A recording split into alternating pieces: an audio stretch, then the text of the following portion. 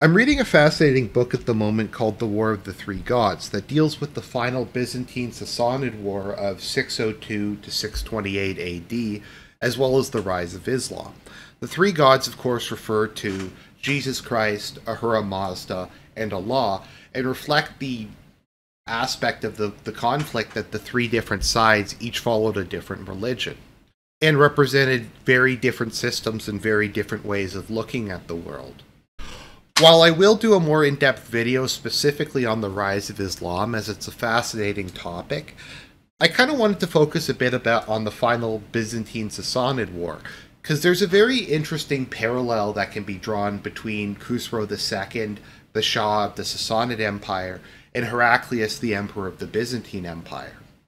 As both men are incredibly tragic figures, both of them ruled their empires at the height of their power when they had conquered the most territory, when there was no real rival to each other other than each other. There wasn't any other real big state powers that could challenge them. In a total war, I guess you had the Chinese Empire, but obviously they weren't in direct conflict. And there was probably some large Indian states too, but once again, they weren't in direct conflict it looked like the Middle East and the Eastern Mediterranean was divided up between these two superpowers, and everyone else was just a bunch of barbarians, be they Turks or Arabs or Avars or Slavs. They were just kind of little people to be swept aside while the big boys hammered on one another. Both Heraclius and Khosrow won stunning military victories, arguably the most impressive military victories in the history of their respective empires during the exact same war, which is also kind of fascinating, and both of whom, if they had stopped or died at a specific point in time, almost certainly would have been remembered as the greatest leader in their country's history. Uh, Heraclius would probably be remembered as the greatest Byzantine emperor since Constantine, and maybe the greatest Byzantine emperor of all time, if he had have died right after the Sassanid Persian War. Likewise, if Khosrow had have imposed strict terms on the Byzantines at the height of his war, then he might be remembered as the greatest Persian empire since Cyrus the Great, and be a national hero to this day. Instead, both men's names now are um, associated with failure, disaster, the complete and total collapse of their empires. While the Byzantine Empire would limp along for another 700 or 800 years or so, it would never come close to the peak that it was under Heraclius and his immediate predecessors. Likewise, in the case of Iran, I don't think it was until the 17th or 18th century with the Safavids that you had a native Persian dynasty ruling the Iranian plateau once again. And while a lot of people do honor Heraclius as being the man who saved Eastern Christendom from the Persian Empire, at the same time, there'll always be this huge black mark on him that he's the man who lost the Middle East, who lost Egypt, who lost Africa, who ended any hope that the Eastern Roman Empire might have been able to restore itself to Rome's former glory. Before we get into the war a bit more, I always think there's an interesting parallel between Heraclius and of Vladimir Lenin. Maybe this is kind of a strange comparison to make, but Heraclius lived too long. If he had have, like I said, died right after his victory, he would have been remembered as the greatest Byzantine emperor. Likewise, Lenin got lucky in that he died when he did. I feel if Lenin had have been able to actually rule Russia uh, far beyond the civil war for even another five or ten years, he would have completely destroyed Russia, and all the stuff that was later blamed on Stalin, he would have been blamed for, and things might have gone even worse. But because he died shortly after the Civil War and he wasn't really able to impose his vision on the country, he's remembered very fondly. So it's kind of an interesting case of living too long, unluckily, and dying too soon, but being lucky about it. That being said, let's get into the context of the, the war from a historical perspective.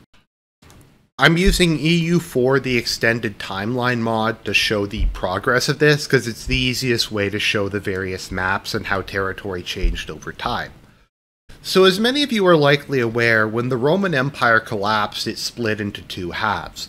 The Western Roman Empire, which quickly was broken up by a variety of barbarian successor kingdoms, and the Eastern Roman Empire, which is anachronistically known as Byzantium because Constantinople, its capital, was a converted city that was known as Byzantium. It's kind of a way to differentiate the two because it can get kind of confusing when you talk about the Roman Empire going into the 14th and 15th century, it's also to reflect the fact that Greek culture and the Greek language became the dominant force in the Byzantine Empire, and it was no longer a Latin state, as it had been under the previous emperors. From my understanding, the Byzantines always called it the Roman Empire, and other people always called it the Roman Empire. Uh, in fact, one of the successor states was called the Sultanate of Rum or the Sultanate of Rome, we just use the term Byzantine so people have the general period that we're referring to, and so we know we're talking about Greeks rather than Latins. But when the Roman Empire collapsed and the East survived, it should be noted that by this point in time, the East was a lot wealthier than the West. From my understanding, the two wealthiest provinces in the Roman Empire were Egypt and Syria, both which were securely under the control of the Byzantines. Also, in the complete political chaos in the West, it was still expected at some point that at least some of the territory would be resubjugated. And this brings us to Justinian the Great, who probably deserves his own video. But he was, interestingly enough, the last emperor of uh, Byzantium that spoke Latin as his native language. And he was a man of immense talents, and it was his desire to completely rebuild the Roman Empire and retake all the land that had been lost in the West. And to his credit, he actually had a pretty good go of it. So let's jump ahead a little bit. Under him, they were able to retake Africa, which actually is quite useful because it was a major grain production area. Uh, they were able to retake most of Italy, although that's kind of a mess. We can talk about that later. They grabbed a bunch of parts of Spain. Most of the coast of the Mediterranean had been regained by Justinian, and Byzantium was a superpower once again encompassing quite a bit of the former Roman Empire, at least the, the majority of the very the most productive and populous provinces. Justinian also embarked on legal reforms, construction projects, that kind of thing, but the plague of Justinian broke out and devastated the empire's population. And so when we get to Heraclius, it's a bit of a paper tiger. On one hand, it is at its greatest territorial extent, but it's also very depopulated and facing financial disaster because Justinian's successors were not Justinian and didn't have his almost divine level of natural talent, as well as the decreased population.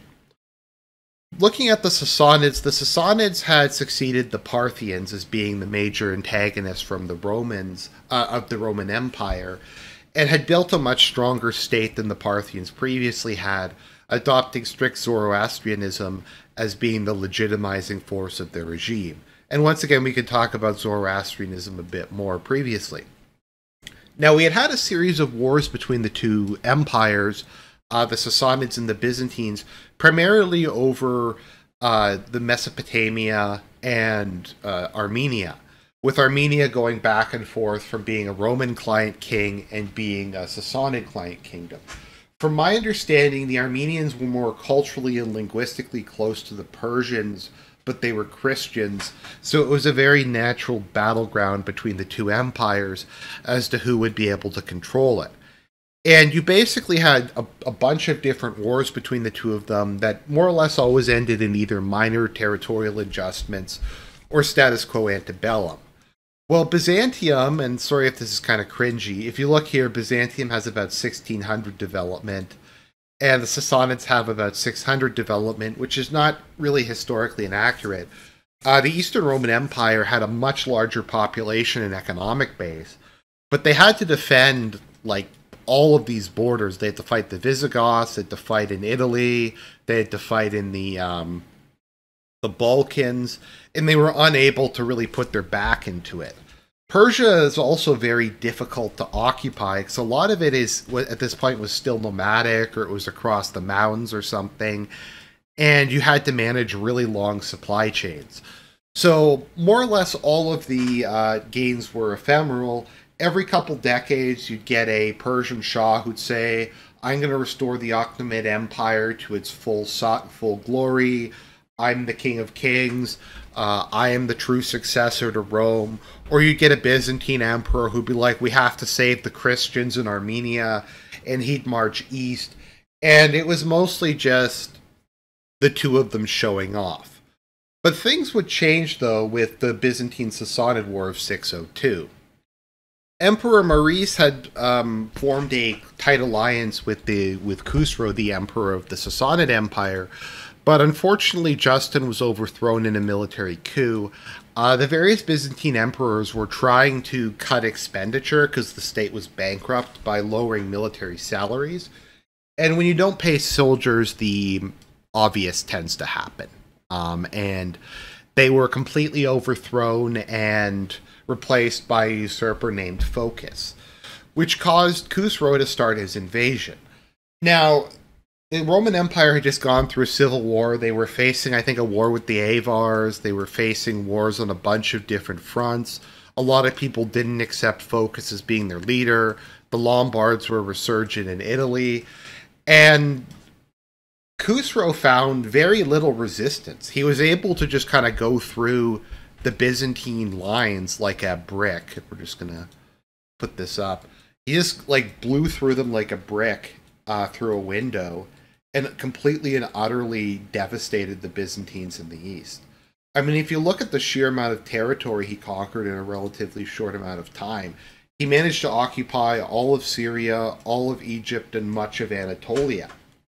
Now, around this point in time, there was yet another civil war in the Byzantine Empire, in which Heraclius, who had been one of the leaders in the province of Africa, keep in mind Africa, it refers to Tunisia, uh, was one of the leaders of Africa, had launched his own military coup and seized control of the capital, and had become the next emperor.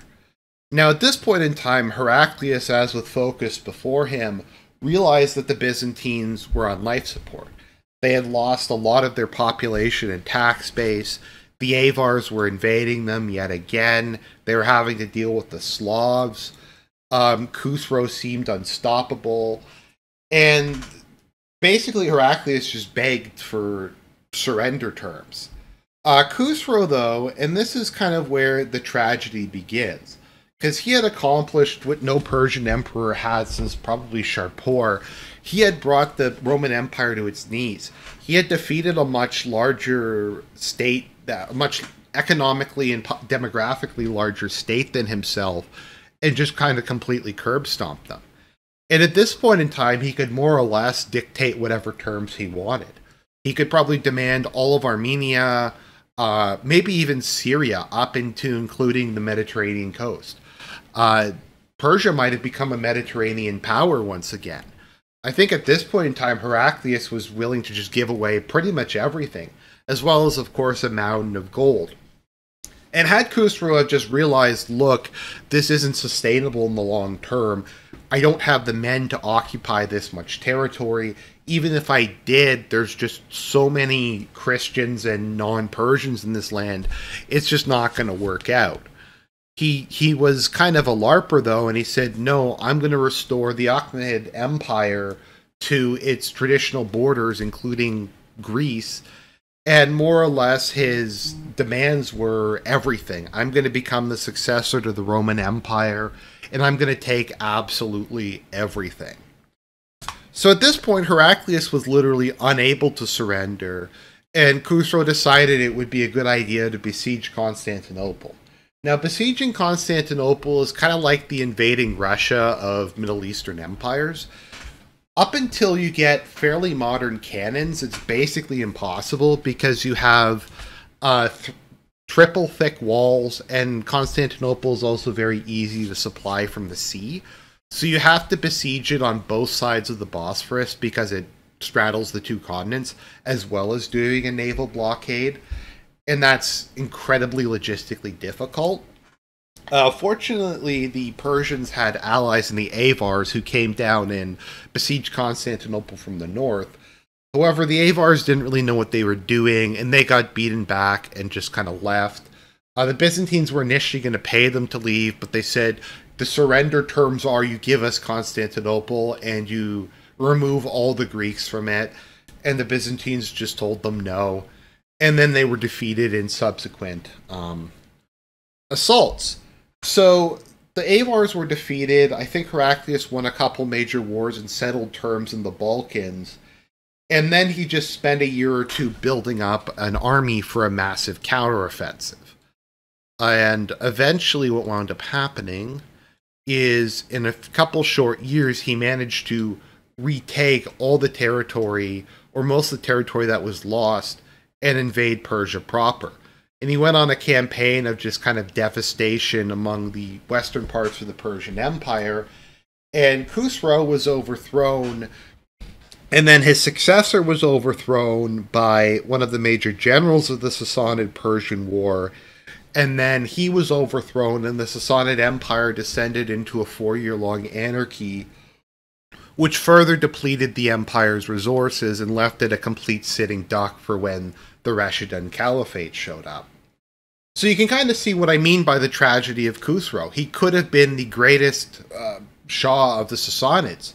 He might have even been able to beat the Arabs if he had pulled out of the war before it turned into a total disaster and exhausted his empire.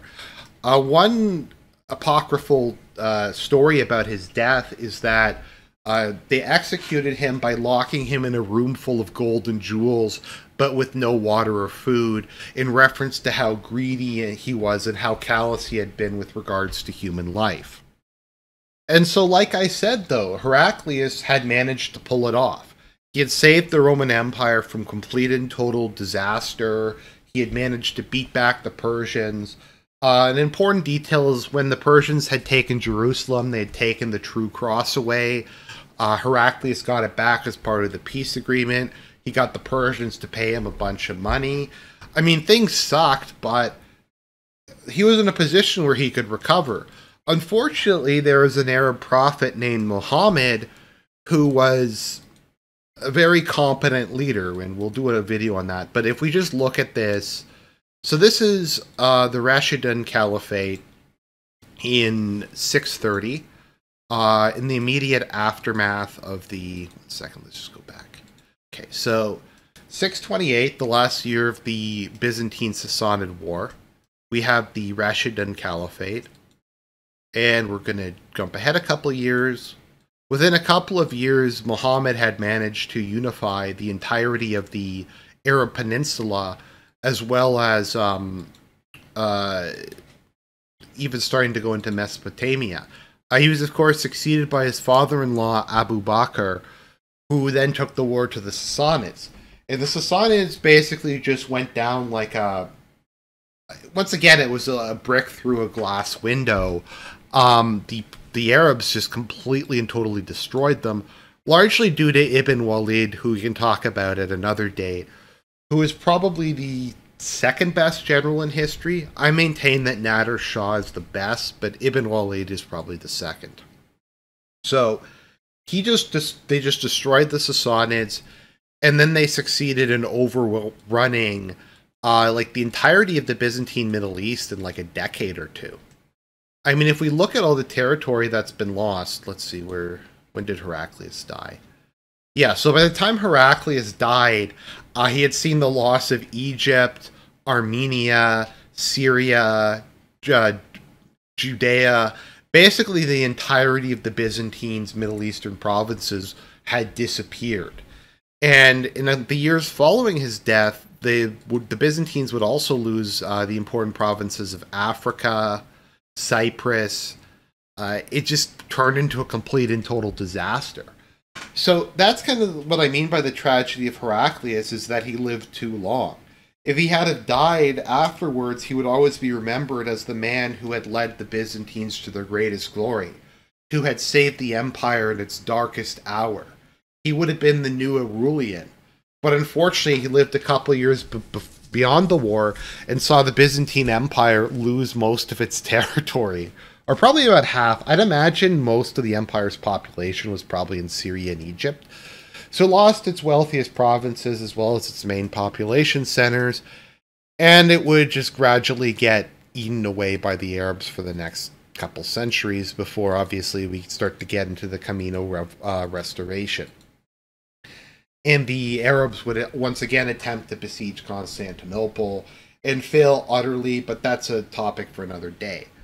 So that's the Byzantine Sassanid War of 602 to 628, as well as the twin tragedies of Heraclius and Khosrow II. I think it's a pretty interesting topic. Like I said, when I finish the book, I'll do a separate video about the rise of Islam and kind of what happened with that and what were the conditions that led to it. Because it is a fascinating combination of historical accidents, of getting lucky, as well as the skill and morale of the various parties involved. So I hope you enjoyed the video and you found it